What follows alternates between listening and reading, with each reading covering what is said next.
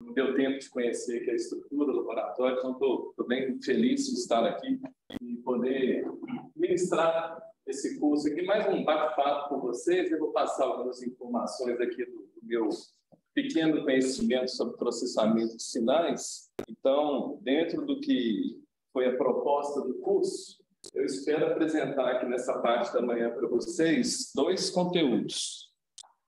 É, um relacionado à amostragem de sinais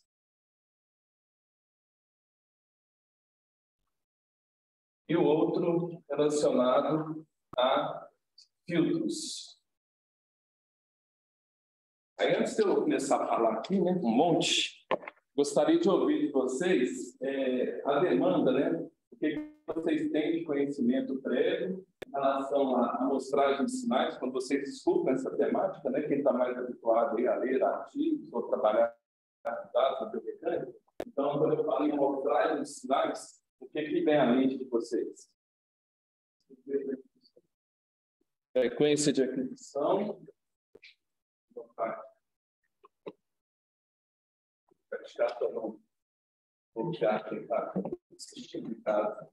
Frequência de aquisição, mais. Quantas informações eu quero coletar? Quantas informações eu quero coletar? Tá. Informação, quando você pensa em informação, você está falando do sinal? Do sinal. Tá. Deixar que você comentou aqui, tá? Quantas informações, vou colocar aqui entre aspas. Eu quero coletar mais alguma informação aí relação à amostragem de sinais? Talvez, professor, uma relação entre o gesto motor e minha, meu planejamento de aquisição. Por exemplo, assim, entre marcha e salto, você quer falar Ótimo. Tá, então essa relação entre. Vamos pegar aquele prática, negócio de carteiras na matemática, não sei vocês, mas no ensino médio, a maioria que gosta de fisioterapia, né, tem, não gosta muito da, da matemática, não? Então, vamos pegar um exemplo prático aqui, né? Mas eu vou fazer um salto. Estou saindo do campo de visão e. Não, fica tranquilo. Tá, então fazer aqui. Colocar é, dois canais, tá bom? O primeiro cenário, o salto vertical. Eu vou filmar esse salto. Tá? Eu vou fazer uma análise cinemática do meu salto. O objetivo é verificar a altura e ângulo de flexão e extensão ali na articulação do joelho. Tranquilo? Pergunta. Qual frequência de aquisição eu devo utilizar para verificar o desempenho, a altura do salto e esse ângulo? 30 Hz, 60 Hz, 120 Hz, 240 Hz, hoje está com tempo, está com bom, né? 240 Hz. E aí, coloco já 240 Hz coleta, o que vocês acham? Como é que eu tomo essa decisão? Obrigado. Mais rápido de.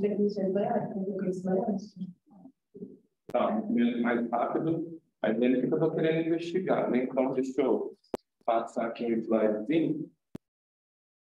Vou contar para lugares específicos aqui, tá ligado? Não tem versão Não, tá.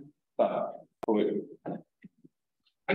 Alguns questionamentos, algumas provocações, né, que foi colocado. É, eu não gosto, nunca gostei quando eu era aluno de graduação, eu aprendi determinados conteúdos, então cheguei de hoje para estudar processamento final. Eu poderia chegar aqui falando assim, ó, vou fazer a transformada de Fourier, análise da frequência, e assim, né? interrogação, interrogação, interrogação. Então, eu gosto sempre de partir do básico, né? Por que, que eu preciso da processamento de sinais? Quais são as perguntas que eu quero responder na minha análise do movimento? Para não ficar lá no final, que a análise tem uns montes. Análise do domínio de tempo, a gente vai ver aqui, análise do domínio da frequência. Só que, se eu virar só um, um analista de dados, né, eu não consigo responder as perguntas. Então, o foco tem que ser nas perguntas, certo?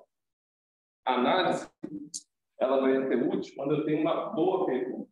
Então, voltando aqui na questão do salto, né? Ah, você quer investigar só a altura do salto, André? Talvez 30 Hz,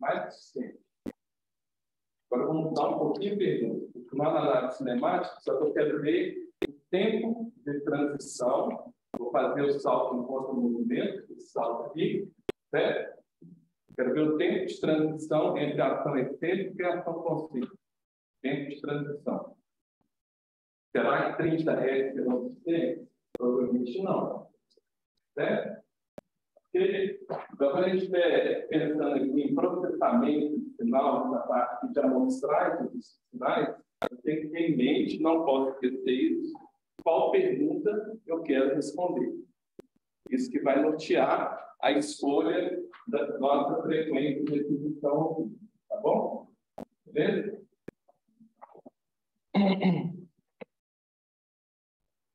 Sim. Tá. Ah.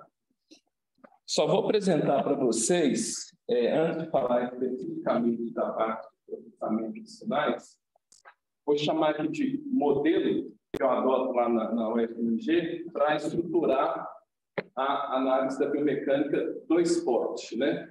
Geralmente esse modelinho ele é pouco conhecido pela maioria de nós, né? O modelo feito proposto por um alemão, Bauhaus, 96. Ele define lá, dentro da biomecânica nós temos a biomecânica do esporte. Okay? E dentro da biomecânica do esporte eu tenho três áreas de atuação biomecânica do rendimento, antropométrica e preventiva. Por que eu estou apresentando esse modelo para vocês? Os exemplos que eu vou trazer de análise de movimento, discutir processamento de sinais, estarão nesse contexto aqui. Certo? Então, vamos entender um pouquinho aqui rapidamente a definição do que a gente entende como biomecânica do rendimento. Rendimento vai ser o resultado mecânico do movimento. Certo? Então, vamos pensar assim, ó. Pegar a marcha, análise da marcha. Qual que é o resultado mecânico do movimento da marcha? Imagina que eu vou fazer um teste aqui, não está errado no gol. Sai aqui. Imagina que eu me idosinho fazendo teste, tá? Aí eu fazer aqui, brincadeira, socorro, percorreu o trecho, retornou, eu marquei? Tempo. Qual que é a meta? Qual que é o objetivo nesse teste? Maximizar a velocidade. Ó, faça no menor tempo possível. Então, dentro da biomecânica do rendimento, eu vou ter uma variável que a gente chama de variável de meta, que vai ser a velocidade. Certo? É a nossa variável de meta, é o objetivo, que é maximizar a velocidade.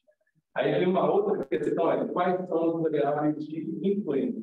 O que, que vai determinar o meu desempenho nessa tarefa? Se eles tivessem que chutar duas variáveis só. Distância que tem. A gente aprendeu lá no ensino e claro, a gente esqueceu, né? Que velocidade é distância sobre tempo. Só quando eu pego essa atividade biomecânica, eu não vejo a definição dessa forma. Como é que a gente faz a biomecânica para definir as variáveis de influência na marcha? O que, que seria essa distância aqui? Ó? Vou colocar assim, ó. CP, de passada. Certo? E o tempo, vocês concordam comigo que é uma atividade cíclica, né? Então, se eu definir o comprimento da passada, o André fez o contrato aqui, retornou o mesmo, medir o comprimento da passada. Ah, quantas vezes você fez isso em um determinado tempo? Então, quantas vezes eu fiz isso em determinado tempo, define o que a gente chama de frequência da passada. Então, eu tenho duas variáveis de influência, comprimento e frequência da passada, que vão determinar o quê? A minha variável de meta, o resultado mecânico do movimento, que é a velocidade. Certo? Beleza. Isso serve para o idoso fazendo teste time up goal e o Bolt. Está na prova de 100 metros. Né? Então, numa análise bem macro desse padrão de movimento, né? Coloco minha câmerazinha lá, né? pensando na análise do movimento. Coloquei minha câmera, estou vendo quais variáveis? Comprimento e frequência. Ah, professor, como é que uma intervenção pode alterar essas variáveis de influência? Como assim, André? Então, vamos pensar no idoso pré-frágil, tá? Vai fazer o time go. Eu vou ilustrar aqui. Eu não estou muito longe disso. Tá? Então, estou aqui, ó, fazer muita dificuldade para levantar, aí eu vou fazer o teste. Aí vocês vão fazer uma intervenção. Seis semanas de treinamento de força, treinos inferiores. Após as seis semanas, vou repetir o teste aqui. Aí já me gravou, né? O que alterou no padrão da marcha, quando eu penso aqui nas variáveis de influência, do pré o pós? Pessoa no pré, frequência de passada altíssima, né? Então, dificuldade, ok? Comprimento passada, diminuindo. Fiz a intervenção, melhorou o comprimento passada, obviamente que vai maximizar a velocidade. Certo? Beleza. Então, esse é o contexto da biomecânica do rendimento. Quando eu falo da biomecânica do rendimento, eu estou pensando sempre em variáveis de meta e nas variáveis de influência. Dá outro exemplo, André, bem rapidinho. Ah, lá no arremesso de peso, qual é o objetivo? Maior alcance possível do implemento. Distância.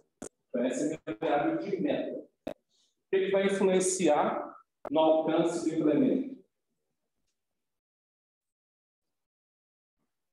Vou lançar, segura o Meu pezinho. O que, que influencia lá no alcance? Que isso, hein? É? Era ajuda jogava de bom. Então, quando eu penso lá no remédio peso, né, o que vai influenciar no alcance horizontal do implemento? Ângulo de soltura, velocidade, soltura do implemento e altura. Essas são as três variáveis de influência.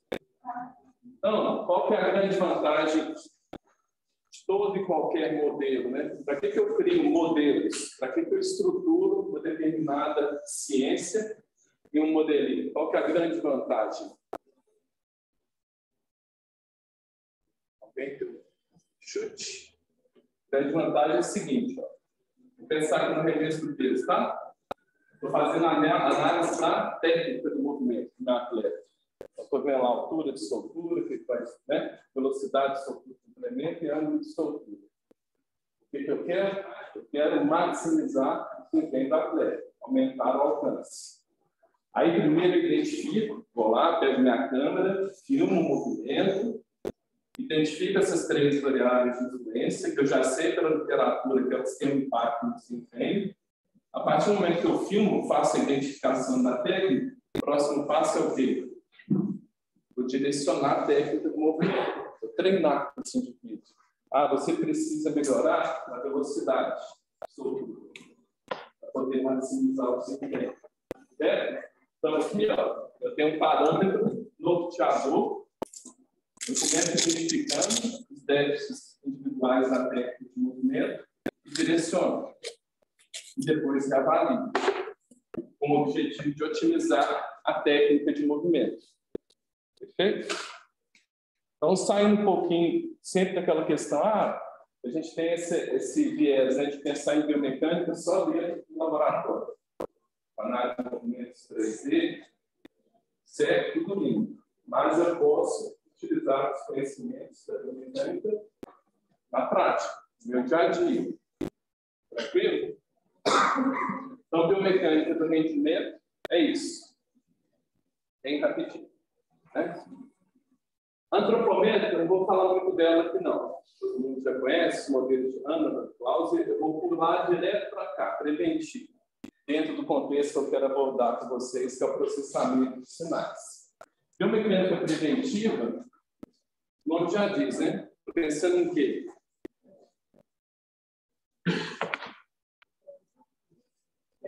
Prevenção de lesões, né? minimizar as cargas mecânicas. Então, se eu faço, por exemplo, salto na plataforma, colocar duas situações, tá? Dentro da mecânica preventiva ali, que eu quero minimizar risco de lesão. Situação 1, aí vocês vão pensar na aterrissagem. Tá? Fecha o olho, vocês vão olhar o que eu vou fazer, fecha o olho, por favor. Vou saltar, tá? Vocês vão só escutar. Situação 1, fecha o olho de novo. Situação 2. Fez? O que, eu fiz diferente da 1 para 2?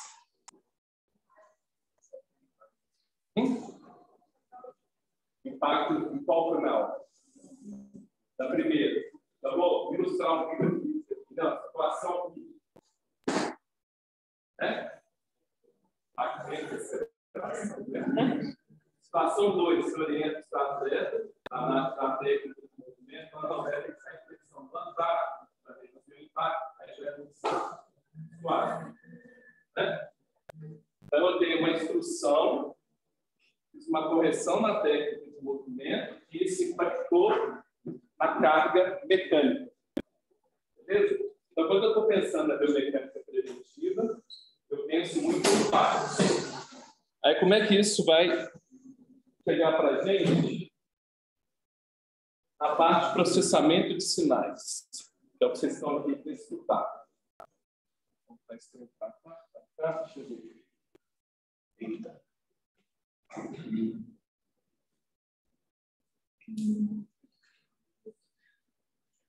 Então, aqui, ó, dentro da biomecânica, como é que eu passo aquele videozinho aqui, Felipe?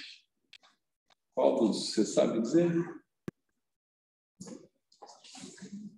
Aqui, Felipe. Ele não está com pinta de ser vídeo, né? Ah, mas não. Ah, até que é mas tudo bem. Sem problemas. O próximo. É, não passou ali, não tem problema não. Era para ilustrar o impacto durante a corrida do, do fator coach, mas sem problemas. Vamos aqui, ó, um exemplo da biomecânica preventiva. Esse gráfico aqui é comum para todos vocês? Ele ilustra a componente vertical da força de reação do solo em duas situações: na caminhada e na corrida. Ok? Este vertical aqui está mostrando o quê? Mostrando a força vertical, como eu disse, a componente vertical da força de reação do solo nas duas situações. Momento de impacto.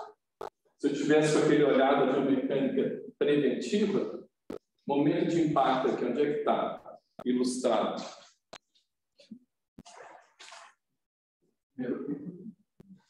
Quem tempo? Isso, né? Ok. Então, no olhar da biomecânica preventiva, essa é uma informação importante. Só estou pensando em pergunta. Para depois pensar no processamento do sinal. Uma pergunta que eu coloco para vocês.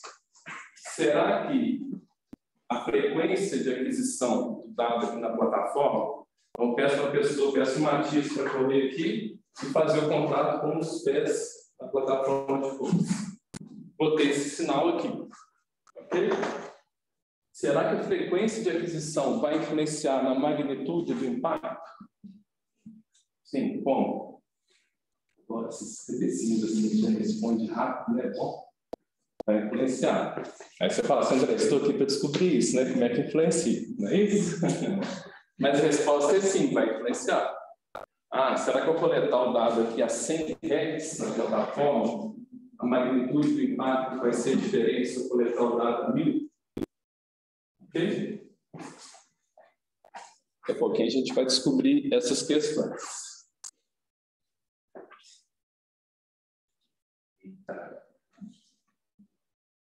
Isso. Ainda no contexto da biomecânica preventiva, um dos momentos que a gente tem maior atenção é a aterrissagem dos saltos, que é o momento com maior risco de lesão. Nesse gráfico que está ilustrado aqui, esses quatro gráficos, pergunta 001, queria pedir para colocar algumas perguntas para vocês, tá? Qual é o gráfico que ilustra a componente vertical da força de reação do solo? Este esse A, B, ou D.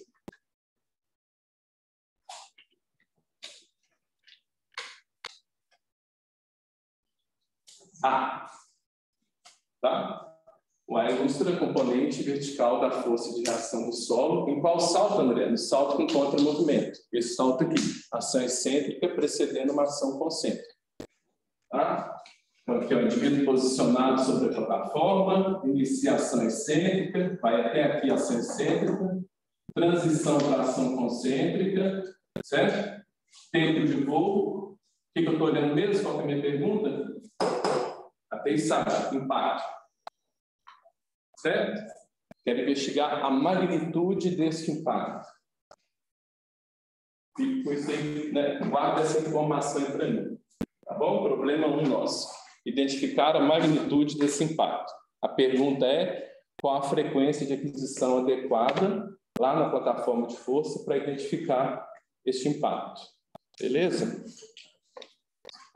Posso fazer isso também na corrida. Ah, tá aqui, ó, bem definido. Anota o valor aí. 1.345. Mais à frente a gente vai precisar desse valor.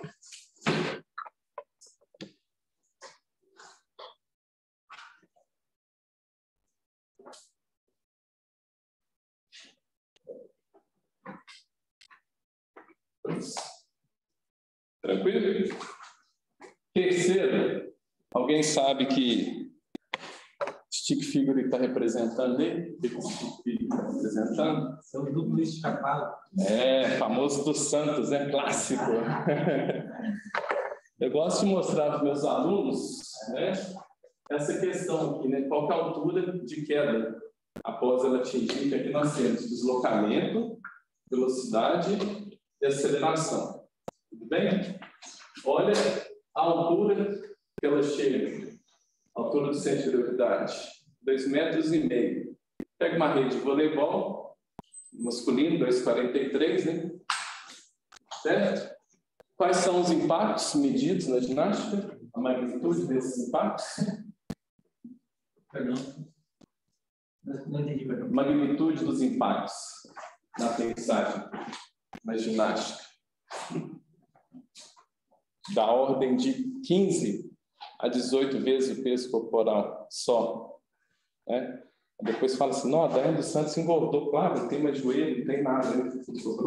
Quantas cirurgias foram? Não deve nem andar mais. Né? ok? Tranquilo? Então, um olhar, por enquanto, dentro da biomecânica preventiva. Vamos avançar. Outro sinal muito comum que a gente trabalha bastante é eletromiografia. Certo?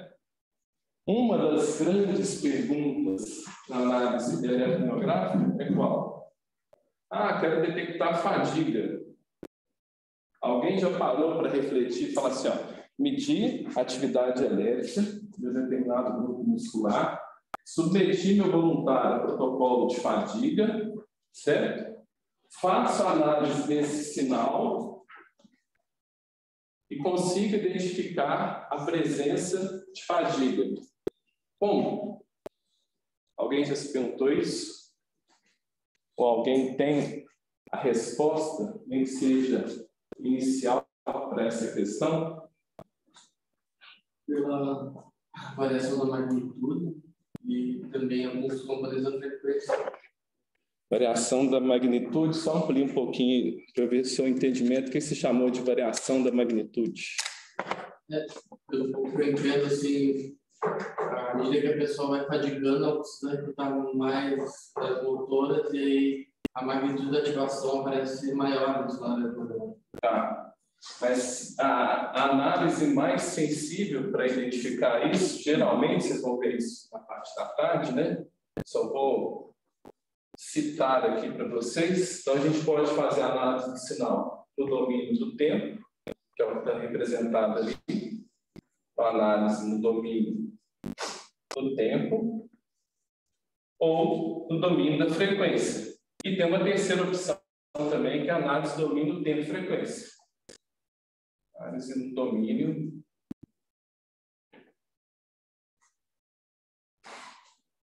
Então, assim, ó, eu posso ter aquele sinal representado. Geralmente a gente pega o eletromiograma, né? Identifica a informação, suaviza e depois extrai os parâmetros, informações daquele sinal. Né? Eu posso fazer isso, aquele sinal ali identificado bonitinho, vou ter algo nesse sentido aqui. Certo? E aí calculo, por exemplo, o mean square. Isso aqui seria uma análise do domínio do tempo. Ok? Ou eu posso fazer a análise do domínio da frequência. E aí eu vou ter o que a gente chama de espectro de frequência do meu sinal. Então, todo sinal biológico é composto por várias frequências. Certo? Então, qual que é o objetivo? Eu pego aquele sinal, que está representado no domínio do tempo, faço uma magiquinha, vocês vão aprender à tarde, né? Fourier, transformar de Fourier, e aí identifico qual é o espectro de frequência do meu sinal. Por quê? Quando eu estou falando em fadiga, a análise do domínio de frequência é mais sensível para identificar a ocorrência de fadiga. Então, a gente já sabe que na presença de fadiga há uma alteração do espectro de frequência. Então, se a frequência inicial sem fadiga era 60 Hz, eu vou ter um shift, um desvio da frequência para frequências menores na presença de fadiga. E às vezes, no domínio do tempo, eu não estou enxergando nada disso. Pode até mudar a questão da amplitude, mas é, é muito menos sensível essa análise do domínio do tempo do que a análise do domínio da frequência.